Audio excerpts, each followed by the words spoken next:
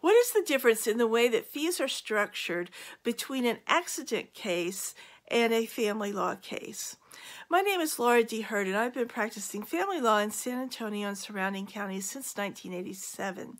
And people will often see on TV a, an accident lawyer, a personal injury lawyer, who is advertising that they don't get paid anything unless they win. And the reason is because they're doing something called a contingency fee basis. That means they take a percentage of what you win at the end of the case.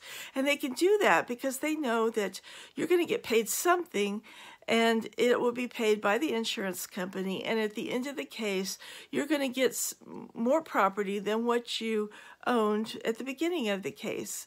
You're going to get property that you never had before from the, the settlement of this lawsuit. In a family law case, however, if it's a custody case, it has nothing to do with property. If it's a divorce case, we're dividing up the property that the two spouses already owned.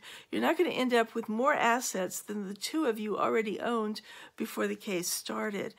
There are rules of professional responsibility that lawyers are bound to follow, and these rules of conduct say that Family law attorneys are rarely, if ever, justified in charging a contingency fee basis for a divorce or a family law case.